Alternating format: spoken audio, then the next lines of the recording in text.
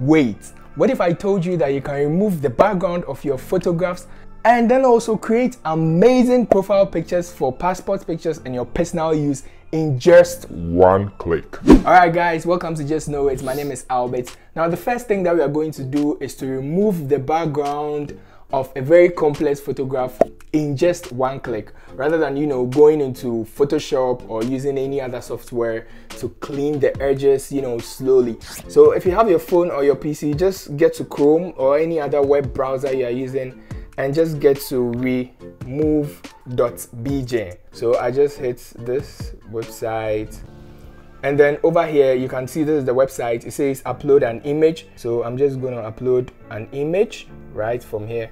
Hit browse just go to my gallery. So i'm actually uploading the picture that i want to remove the background.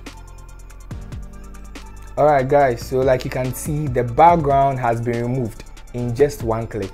So once it's done you can just hit download.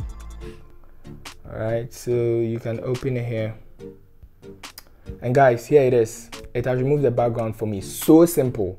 So simple. Let's try another photograph. I'm just gonna upload another one. Just go to browse from here. Gallery. Favorites. I put this in favorite you can see how complex the photograph I selected is. Guys it's done. It's done. What this web application software does is that it recognizes the foreground and the background of the photograph you have uploaded and then it just removes the background for you. As simple as that. And guys this is what i have here. Like you can see on my screen it has removed the background for me. So simple. The last thing that we are going to do is to create amazing profile pictures for your whatsapp profile pictures for your social media profile pictures okay? So just hit on the search bar and search for PFP. PFP means profile picture. Okay, so PFP maker. And then you just hit on the plus button here. I'm going to browse for an image. So I come here, get to my gallery, favorite, and then I'll choose this image. Now this software will generate so many profile pictures for you.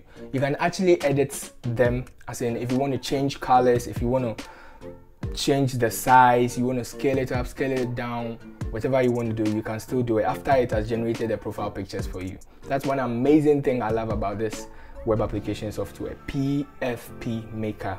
Okay guys, so you can see uh, the software has generated so many profile pictures for us, all right? You can see this is very nice, but you realize that it's cutting off the head parts just a little bit. So what we are going to do is to hit this pen icon right here and then just push this image, you know, right here. And then I'm, oops, sorry. So I'll keep it here and then I'll just drag this way and say save. All right. So now you can see, as you can see, um, I've fixed that now if you have if you have a particular color that you want to put this on. You have a particular color that you want to put your image on. You can just come to this color search here um, and then just choose the type of color that you want you want to put um, your picture on. Okay guys so let's select one of them here. So I'll just select um, mm, this one. Now there are two download options. You can actually download the um, profile picture here in a circle form or if you want a square form to you can download it that way. So just as it's indicated here in green the first one represents the square form and then the second one also represents the circle form. So i'm just going to download them for you to see. They are here. So like you can see this very one it's in a circle form and then this one is in a square form all right so you can use either of them. Sorry. So you can use them for your whatsapp profile pictures facebook profile pictures and other social media profile pictures. Thank you so much for sticking with me to the end of this video. I know this was amazing.